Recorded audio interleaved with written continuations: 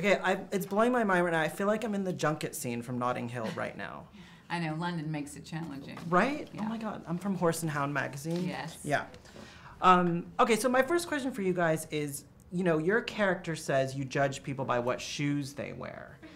In your own lives, what tips you off about certain people? Well, Let me guess yours. okay, guess. I'm just kidding. You do it. No, guess. Try to guess. There's no way you're gonna get it right. Well, I, I think I'm gonna get this right. I think it's from uh, their hair. It is very informative. You are correct. Yes, yes. Good job. Now you guess mine. Okay. You are informed by people based on their breath. Close enough.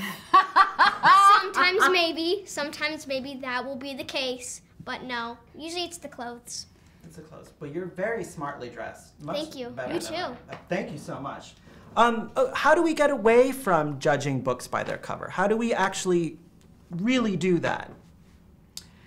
Practice.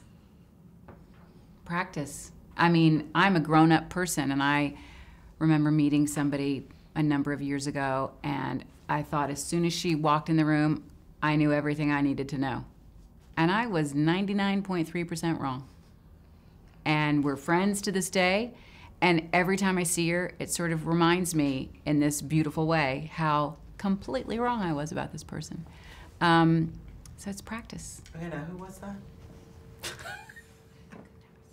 I'll tell you. You can never say. And and what about you? Well, I just want to say there's a famous quote to that question beyond the face is a heart, but Oh, that's sweet, Jacob. Yeah. That's nice. Get me out of here. but I do you mind repeating that question please? I No, you answered it perfectly, and he has 64 seconds left, and he's going to ask us a different question. Okay, sounds good. I love you so much. Um, all right, can we get through this movie without crying? Is it possible to get through this film without crying? I got through this movie without crying. Probably just because I'm a kid and I know it's fake. Well, it's, you know, I think because you went through it all as Auggie, you know all the things that are coming, and because your character pulls so hard at the rest of us, it's kind of hubris to cry at things that you're doing that make the rest of us cry. So I think that is to your character that you didn't cry. But Yeah. No one's going to get through this without crying a little bit, even if it's just that choked feeling in your throat.